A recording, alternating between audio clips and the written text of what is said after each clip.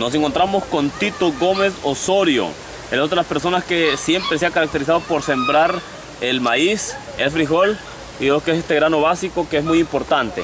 Vamos a ver si lo fijamos a la cámara en este momento para que la población conozca en estos momentos sobre que este verano está bastante fuerte. Usted como persona de experiencia de sembrar la tierra, sembrar los granos básicos, es un verano bastante fuerte.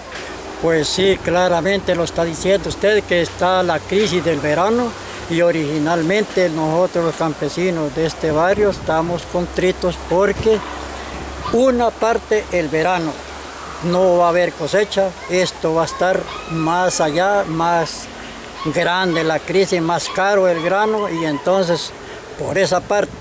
Y por otra, nosotros los que hacemos milpas aquí, no los quiere facilitar tierras absolutamente ni prestada ni alquilada, entonces fuera bueno que las autoridades municipales se reunieran con los terratenientes para que los ayuden. Aquí no tenemos trabajo, aquí estamos de balde, aquí no hay una fuente de trabajo para decir que los vamos a, a sostener el pan de cada día, no, aquí va a haber todos los días esta gente de balde deseando un trabajo. Y entonces Oiga bien cómo se está lamentando ese asunto de esos demigrantes que vienen para acá. Oiga bien, nosotros no queremos que los hijos se los vayan, que los den una oportunidad de trabajo para que aquí nadie salga. ¿Han ido ustedes algunos terratenientes a decirle, alquíleme la tierra, le doy tanto dinero o pidan tanto y no quieren, no quieren alquilar tierra? Yo he ido varios terratenientes de aquí del sector de Tablabé, no quieren cooperar con nosotros, y entonces, ¿a dónde vamos? ¿Cuántos, si aquí vienen a sacar una encuesta ustedes de la, de la corporación, cuántos queremos trabajar aquí? Aquí hay campesinos que deseamos tierras, no los quieren prestar.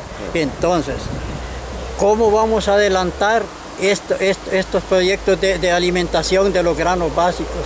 ¿Cómo vamos a adelantar? Si yo aquí, vaya, el año pasado yo hice mi milpa porque me prestaron, pero me quitaron la tierra. Entonces hoy ya no hice milpa. Hay otro problema, que usted puede abonar la tierra, prepara bonita la tierra. Ya cuando la miran limpia le dice, dame la tierra. Ah, un año lo dan la tierra. Entonces sería importante hacer un contrato, un convenio que por tantos años.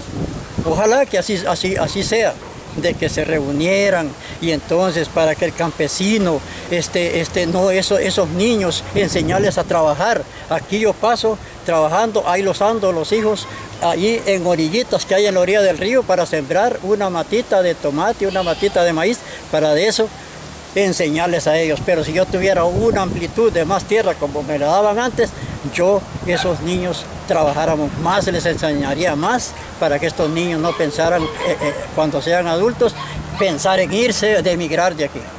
Muchas gracias. Vamos en este momento a controles principales con esta importante información. Adelante.